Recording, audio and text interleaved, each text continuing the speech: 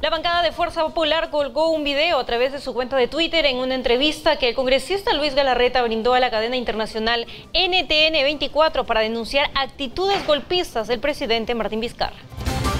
La Comisión de Ética Parlamentaria procederá a elaborar el informe final del legislador no agrupado Roberto Vieira, luego de que éste no asistiera por quinta vez a la citación de la Comisión de Ética. El ministro de Justicia, Vicente Ceballos, aceptó la renuncia de Pedro Paulino Grandes, quien se desempeñaba como director general de Derechos Humanos del Ministerio.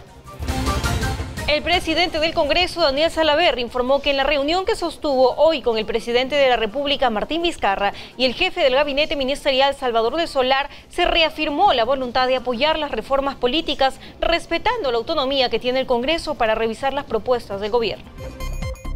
En el plano regional desde Arequipa tenemos información en vivo con Richard Calcina.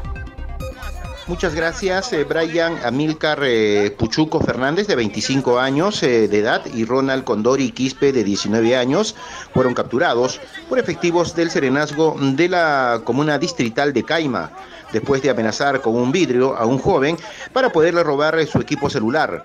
El atraco se suscitó en las inmediaciones del ingreso al santuario de Chapi, en Charcani, el agraviado los persiguió hasta atender el apoyo de los efectivos del Serenazgo. Los delincuentes intentaron huir de la persecución ingresando a 12 casas ubicadas en la avenida Chachani, donde trataban de cambiarse de prendas de vestir para que no sean reconocidos. Sin embargo, finalmente fueron detenidos. Esto con el apoyo de los vecinos del sector, los que intentaron linchar, justiciar con sus propias manos a estos dos sujetos, pero finalmente fueron salvados por efectivos de la policía de la comisaría de Acequia Alta, los que llegaron al lugar para poder detener a estos individuos y posteriormente trasladarlos a la comisaría del sector para las investigaciones del caso. Desde Arequipa informó Richard Calcina para Exitosa Perú.